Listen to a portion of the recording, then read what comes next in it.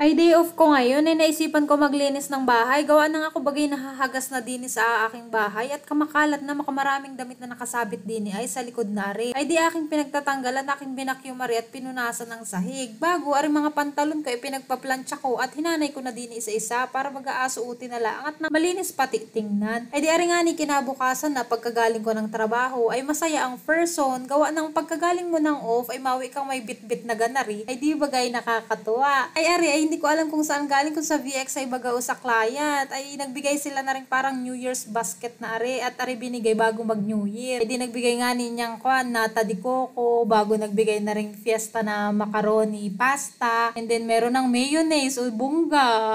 And then meron na ding cheese. O di mo kaya may cheese na na ganyan. Bago meron din spaghetti pasta. Ayan yung fiesta na brand. Tapos, syempre, di merong sauce. May ganda rin na ngayon, crema asada Alaska Kineme. Idea na nga ni ang mga pinagbibigay. Ay, nakakatuwa baga. Eh, pagkatapos nun ay ako'y makyat na at nagbihis, naglinis ng katawan, at ako'y mag-skincare naman na rin ay.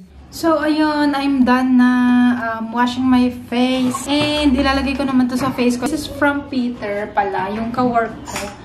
So, binigyan niya kami ng ganito. Tatigisa kami lahat ng non-voice. Alam ko kung binigyan niya din yung iba. So, thank you so much for this, Kuya Peter. Super generous. This is Innisfree na face mask. So, ito yung gagamitin ko ngayon.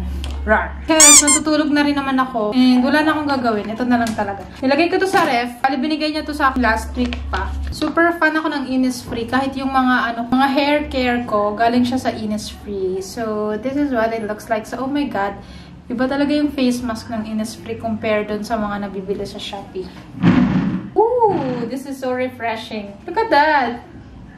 Sobrang punong-puno ng serum.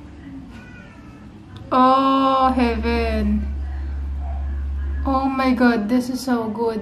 Ang sarap. Sarap sa feeling, gabi.